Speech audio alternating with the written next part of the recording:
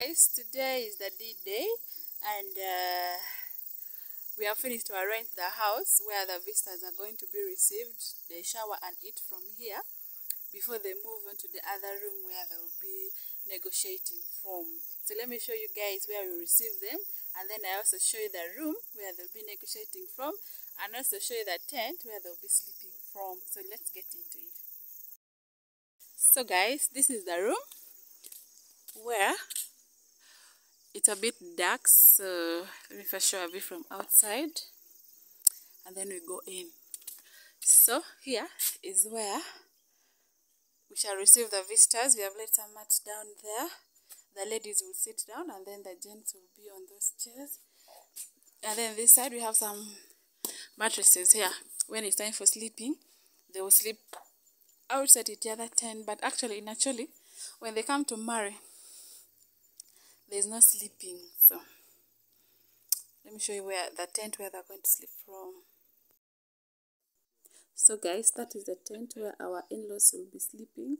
So they will decide whether the women sleep in the hut the men sleep under the tent or the men sleep under the like that. So they know what they're going to do. We'll just give them some mattresses. You can see we have already laid down some papyrus mat just in case. But the mattresses will be brought here in this and guys, that is the hut where we have arranged to receive the dowry from. Some brothers will sit outside here as bodyguards and then others will be inside. Like you can see we are dedicating the house to the god to god. Everything in the function dedicated to the hands of god. Where you're seeing the chairs is where our people will be. Then where there are no chairs is where the in-laws will sit. They're supposed to sit down not on chairs. Even as the girls we will sit down, not on chairs. So as we're praying, the in-laws are getting ready to come in the house. At this point, our bride is ready. She's just glowing, put on her gomesi and makeup on point, just ready for Friday night for her husband to come and pay her bride price and pew! She's off to Kate's Goom. At this point, it was time for us to take the bride into the hut gate. See how she's glowing. And then the uncles, aunties, mothers were already seated down, waiting for us to come in, so the in-laws come also.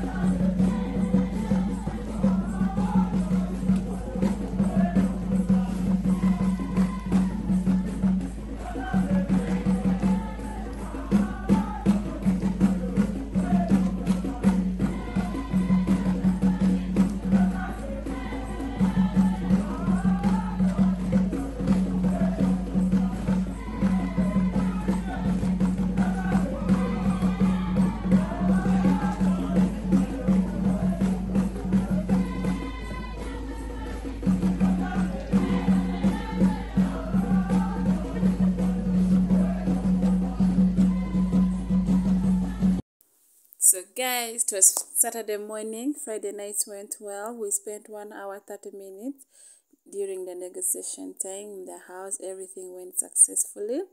And yeah, we thank God for everything. You guys saw how they crawled. They're not supposed to walk. They're supposed to crawl respecting the mother-in-law's house. And you guys can see this early morning. Everyone is busy doing something to put things together before the big function, the party time, the celebration. Aunties, friends, um, girlfriends, wives to be, everybody is here busy, at least doing something to see that things get done on time. So first, like they say, together we stand. That is Diana, one of our best friends with Amia. They come around to help, support, guys. And here, aunties, wives to be, already wives, friends. They're here plucking boar, removing boar from the stems. By the like you can see, it looks a bit a lot. So they're doing it. They're going to cook what they call boar with eggs. It's a green sauce here in northern Uganda. It's very delicious. I think I've ever cooked it in one of my videos. And some of the boar that has already been plucked is here, sprayed, waiting to remove the soil. And of course, cooking is going on. So guys, this morning, the mother-in-law has to present her food to the in-laws. But this one here is for the main function. This is a catering team that was hired to cook for the main function. We had two catering services. One was actually in cooking for the VIP, and then one, this other one is called Santa. Think something, something. I'll get the name and then I get back to you guys. But the other side where I'm going is now the mother in laws cooking to present their food in the morning. It is cultural. The mother in law, the uncle, the auntie have to cook food and present to their in laws that morning. That's the first food they eat before coming for the main function. Yeah, so this side they are cooking, even there's the other side, more food is being cooked by the mother in laws, all the mothers of the girl, the sisters to the mother, all the women that are married in that home, they're all mother in laws. So they put their hands together and cook and present their food to the in laws inside their hut where they slept. And uh, it was time for food for our home people after doing a lot of work. They needed to get energized. They first had to eat that fast food as they spare their stomach for the main, hmm, the real, real function of food. So they're serving food. You see, people are still on their workloads. They were sweeping the compound. Um, some chicken is still here alive. All that chicken died, guys. They all we, we sent them to heaven. I hope they reached well in heaven.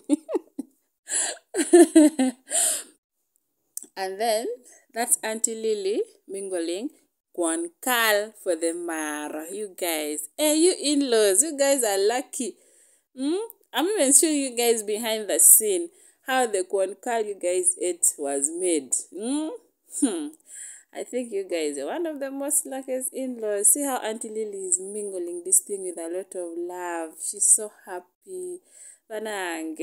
I hope our in-laws see this video. Just see, after seeing, they should add us more. Because, eh? and wow, the awaited time is here. The mother-in-law with all her friends and all her sisters taking the food I've mute this video because of copyright but you guys the music see how auntie is tongoring the letter you guys i just wish there was no copyright so you guys can listen to the what to the music it was so nice. Everyone was joyful. It is this is around 10 a.m in the morning. So they're done presenting the food. They're now coming back to the compound where the music was playing from and you can see that is called och in Acholi we call it och i don't know how it's called in english. Please let me know in the comment section how you do it in your communities. But for us we do that when people are happy. We dance to the music. We celebrate with each other especially when dowry is brought. That point eh? hmm? that is the time people enjoy so much. So yeah they're enjoying. That is aunties daughters in law in Acholi all daughters in law are in uh, hmm, are maros in the presence of the uh the in-laws from the other side all daughters in laws are maros i don't know what whether what i've just said makes sense but you guys just enjoy seeing them dancing without the music because of copyright. Everybody's just enjoying in their own way. I just wish I was here to enjoy, but I was busy somewhere because we had committees. So every committee member had to handle that task very well. So I was busy in the catering committee. I was the head chef. So I was busy supervising the kitchen. I didn't want burnt food uncooked rice for our people, uh, had meat. I didn't want such kind of things, so I was busy supervising in the kitchen. I made sure the food was on point, and thank God, the food came out very nice. So I'm proud of all the catering. On behalf of the catering committee of this marriage, we did it. Thank you so much, guys. You guys are the best. People had energy to dance because they ate good food, and yeah, thank you so much. So after these people dance, uh-huh, there comes the bride. She's there. Look at that beautiful Acholi girl. Mm-hmm. That is a piece herself. she was so happy. We were so happy that she's happy. And she's busy asking me where the uncle is. I told her the uncle is the other side. I think her husband sent her to look for the uncle. So straight she's running to where I told her the uncle is and she's going there and mm, auntie's bringing her food. She's running she's running. She can't even dance properly because she feels like she's late taking her food to her in-laws. She's busy running.